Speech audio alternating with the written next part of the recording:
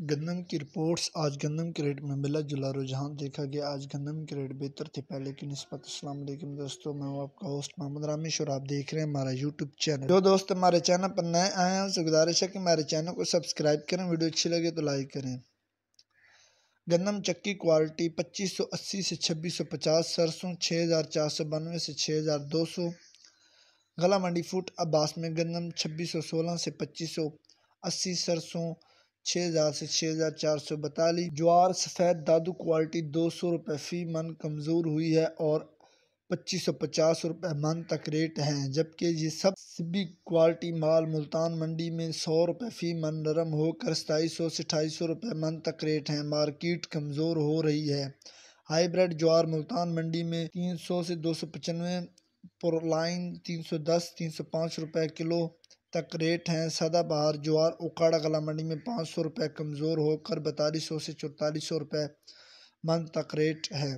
ملتان منڈی میں پینتالیس سو سے چھیالیس سو روپے من تک ریٹ ہیں۔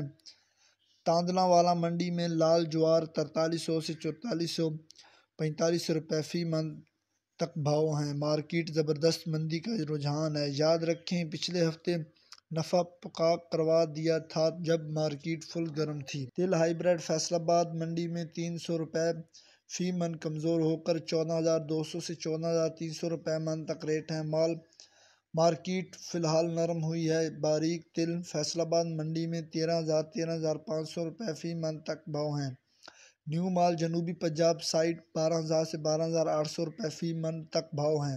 مارکیٹ مسلسل مندی کا رجحان لگ رہا ہے۔ روزانہ تازی ٹرینڈنگ جاری رکھیں۔ مارکیٹ کمزور ہے۔ مکئی دیسی مکئی دیسی فتح جنگ۔